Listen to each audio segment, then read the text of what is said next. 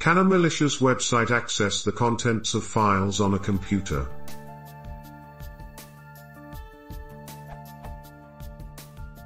This might be paranoid, but if I go to a malicious website, can they tell what is inside a PDF on my desktop or what is inside my images on my hard drive? I have a Chromebook and a Windows machine.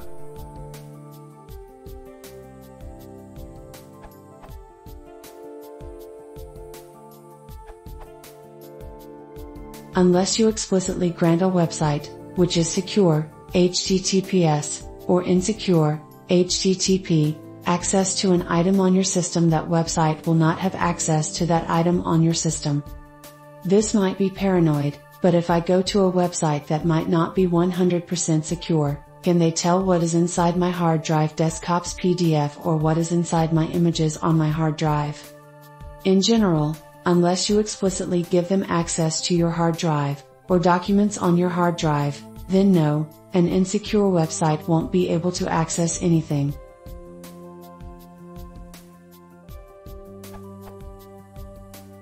That said, and emphasizing this to make it clear, there are indeed some incredibly rare, and esoteric, zero-day exploits that might be of concern in some edge cases. But in general, you, as an end user, need to go out of your way to allow a website to gain access to documents on your system. As long as your OS is patched and browsers are up to date you are safe.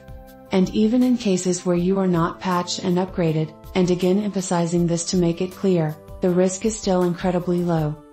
The only concern with a website that might not be 100% secure, as the original question stated and I am assuming HTTPS versus plain HTTP, is that when you transmit data back and forth HTTPS is encrypted and HTTP is not encrypted. The risk then is if you type something into the site via a form and such, if the site is plain HTTP then the data you are transmitting is just clear text that anyone with a packet sniffer has the potential to read. But that is a slim chance at best.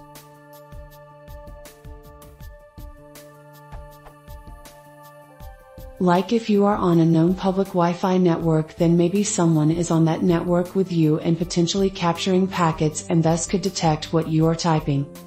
In general if you are on a secure network at home or elsewhere, and your browser and OS are patched, you are safe. An insecure website only really is a concern if you send data to them or you download an item from said website that will run code on your system.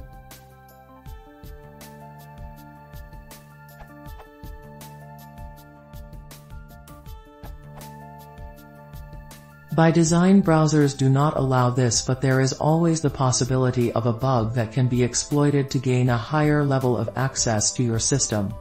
These bugs are fairly rare and always fixed very quickly so this is mainly an issue if your OS or browser is out of date.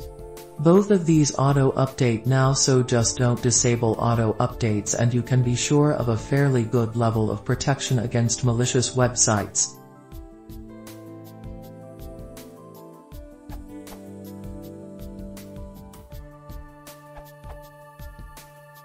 A remote computer can't access anything on your computer without the aid of cooperating software on your computer. In the case of you using your computer to visit an untrusted website, you are using browser software on your computer to initiate web requests, the HTTP or HTTPS protocol, to receive data from the remote computer. In this simple model, the remote computer has absolutely no access to your computer, but browsers have some features which complicate this picture.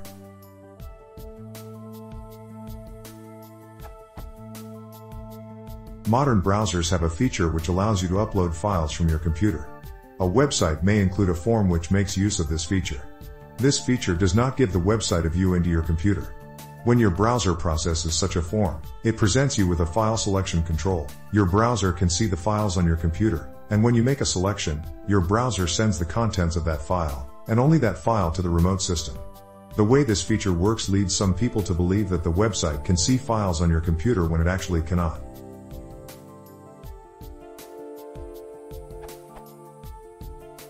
All modern browsers have JavaScript engines built into them. The website may include JavaScript code which is intended to be executed by your browser.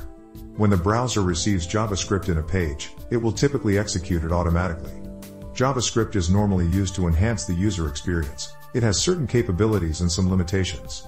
The JavaScript engine can't see into your computer, can't see your files or what may be going on in other programs, but it can direct the browser to load other files from the same site, images, pages, etc. JavaScript could make the browser at least attempt to download and execute a program which may have greater access to or control over your system.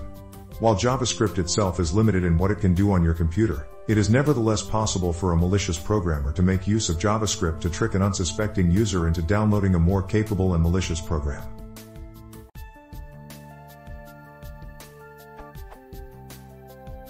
TL, Doctor, an untrusted website cannot by itself see into your computer. But, a site can try to trick you into downloading and executing malicious software. Such software could potentially do anything on your computer. Your browser should not automatically download such software. At the very least, it should require your explicit acceptance. A malicious website could, however, try to trick you into giving such acceptance.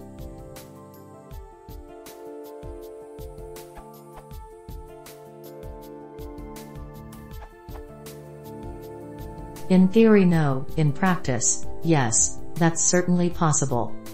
This is the reason why savvy users have browser extensions that disable scripting at all times except for explicitly whitelisted websites which require them, and which thwart many other attacks such as cross-site request forgery and whatnot. Exploits which allow remote code execution or allow accessing local files are published almost every month. Two recent examples for one well-known browser are 1 and 2. Examples for another well-known browser are 3 and 4. The above are random vulnerabilities which I picked with no obvious reason in mind, also they're meanwhile all fixed with the newest versions, to my knowledge.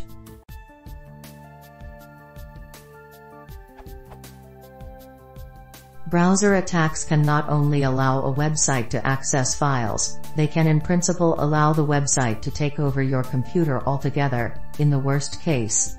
The issue is not limited to browsers, see WhatsApp video call vulnerability for a recent example. There was an exploit in a particular widely deployed series of DSL routers a year or so ago which would allow a malicious website to take over your router even in presence of a password, if only you visited the website from your computer.